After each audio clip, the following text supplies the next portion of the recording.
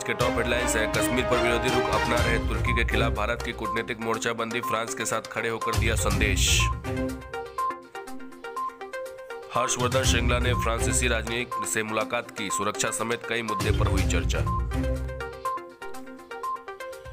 France के खिलाफ मुस्लिम जगत में बड़ा आक्रोश। दुनिया भर में हज़ारों लोग सड़कों पर उतरे।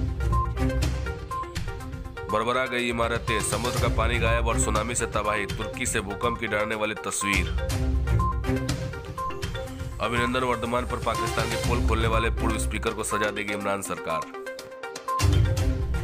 अगले सत्र से सैनिक स्कूल में ओबीसी वर्ग को मिलेगा सत्ताईस फ़ीसदी आरक्षण, केंद्रीय विद्यालयों में पहले से लागू। केंद्र राज्यों का कुल राजकोषीय घाटा इस वित्त वर्ष में हो सकता है दोगुना।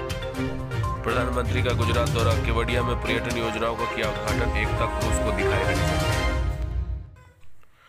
जम्मू कश्मीर बडगाम में सीआरपीएफ कैंप के पास ग्रेनेड फेंका कोई नुकसान। आसमान छू रहे दाम के बीच 25 टन प्याज से लदा ट्रक हुआ गायब, खोजने में जुटी पुलिस। बिहार चुनाव कांग्रेस के हिस्से वाली सीटों पर भाजपा की नज़र, जीत हासिल करने को प्लान किया जा रहा है। लालू राबड़ी पर नीतीश ने फिर साधा निशाना। पति गिरफ़्तार हुए तो पत्नी को सत्ता दी, पर महिलाओं के लिए कुछ नहीं किया। क्रिकेट कमेंट्री स्टाइल में तेजस्वी का भाषण, प्याज का दाम मार रहा सेंचुरी और आलू हाफ़ सेंचुरी पर। पप्पू यादव बोले, सत्ता में आने पर सिपाही भर्ती में लिखित परीक्षा को खत्म करेंगे।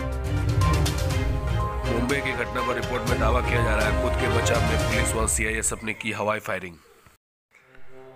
कटिहार के अरगरा चौक में नाले के पानी से परेशान स्थानीय लोग विकास के नाम पर यही मिला है कटिहार को। सिमरिया में कोड़ा विधायिका सह कांग्रेस उम्मीदवार के पक्ष में चुनावी सभा में पहुँचे मशहूर शायर इमरान प्रतापगढ़ी झुआ में ट्रैक्टर पलटने से चालक की हुई मौत, पुलिस ने सबको कराया पोस्टमार्टम। शिवाजी नगर में एक रेलवे ठेकेदार के घर पर आयकर विभाग का तीन मंडल के आयकर अधिकार इस रेड में है शामिल।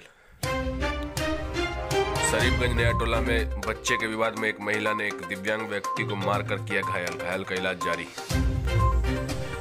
बरमसिया में आरजेडी उम्मीदवार रामप्रकाश महतो ने चलाया जनसंपर्क अभियान। लोगों से अपने पक्ष में वोट डालने की अपील की। कटिहार ज़िले में धूमधाम के साथ बंगाली समुदाय के लोगों ने मनाई लक्की पूजा।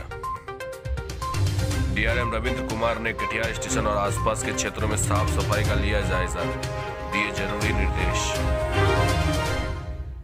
सदर अस्पताल में बिना सेफ्टी किट के स्वास्थ्य कर्मी कर रहे हैं कोरोना जाँच। संक्रमण होने का बना खतरा बने रहिए हमारे साथ और देखते रहिए एमबी न्यूज़ ट्वेंटी